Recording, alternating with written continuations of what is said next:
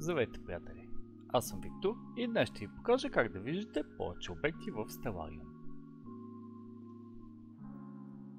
Ето така изглежда горе-долу Stellarium, когато го инсталираш.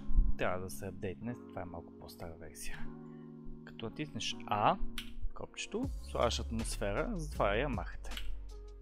След това натискате D, копчето D, за да покажете имената на обектите. И сега ще увеличим малко. И както виждате, тук има Flying Bat Nebula, която не се вижда, не се появява картинка, само тук има на Elephant Nebula. Така. За да се получи ето това нещо, натискам да да замахна, за да се виждат всичките тези работи, а не само картинки.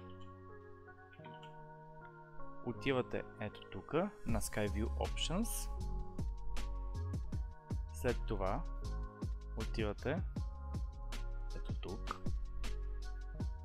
и търсите надолу Color Op DSS Colored.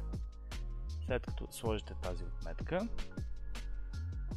затваряте от тук, отивате си на Main, сейвате си, Save Settings и рестартирате Stellarium.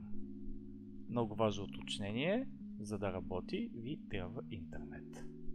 Благодаря ви за вниманието. Ако имате въпроси, пишете отдолу. И до нови срещи!